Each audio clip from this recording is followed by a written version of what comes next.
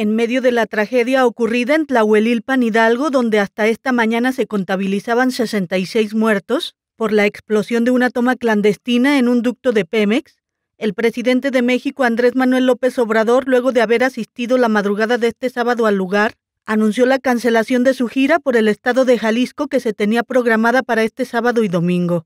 El mandatario ofreció una rueda de prensa a temprana hora donde expresó su consternación por la tragedia y reiteró el apoyo y la solidaridad del gobierno federal a los familiares de los fallecidos y heridos. Subrayó que la máxima prioridad es salvar la vida de los lesionados.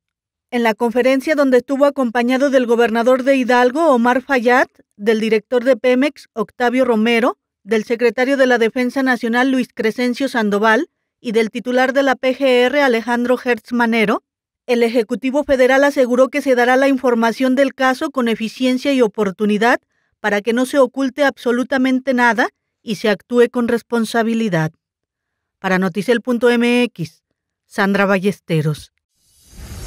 9 de cada 10 accidentes son por fugas de gas. Bitbo Electronics es un detector de fugas de gas. Protege a tu familia por tan solo 599.